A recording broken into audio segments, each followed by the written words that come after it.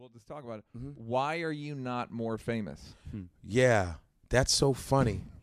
Well, That well, is well. funny. Guys like I Brennan will can't have a answer show and won't put me on. Right, it's Brennan's Uh, fault, man. I'm well, not the- I'm trying to remember I'm if, just- you, I'm if there was anything you could have played on Brennan's show.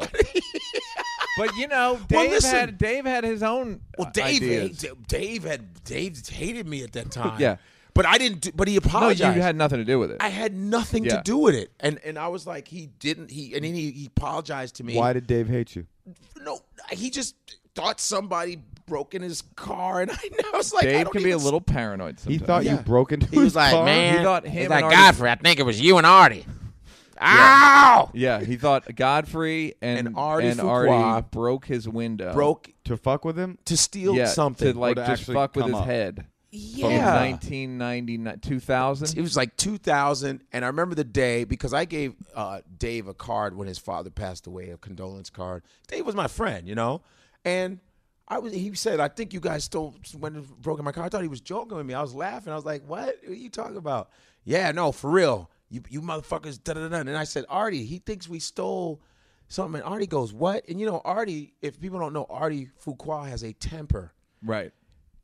He has a temper and he walks we walk over to the boston comedy club and ardie you know how he walks Yeah. he goes no let's go over there let's no fuck that let's go over there we go over there so it's dave wanda sykes keith robinson they're all standing there Right. and ardie's like hey man i heard you told me you said i was um i broke into your in your in your car you, I re-. dave's like yeah you better watch your back he goes motherfucker you better watch your back he goes dave i'm crazy that shit was so funny. Ardie goes, I'm fucking crazy, dude.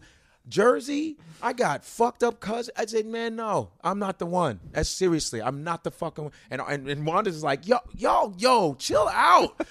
And you know, Keith's like, yo, man, Hey, wait, what man, the hell's going on here? with that. And I didn't know Ardie's temper was like that Yeah. until I saw that. And I've seen Artie yell at cops too, which is fucking bananas. Ardie's like, you ain't fucking touching." I, I'm like, Uh, the own, black guys and Italians will yell at cops, and it's the best.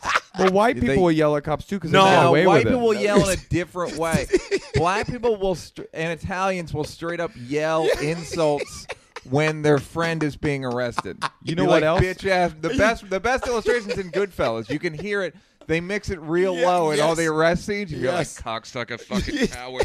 You know what else? People in Australia will talk to all of them talk to the cops like they're little bitches because the power dynamic is different in Australia. Wow. So they'll just be like, "Can I get you know can we, uh, license and registration?" And they'll just be like, "License and registration." Like they just don't care.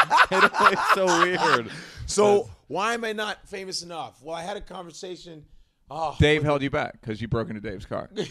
that, and um, a lot of people say that. You know, I said.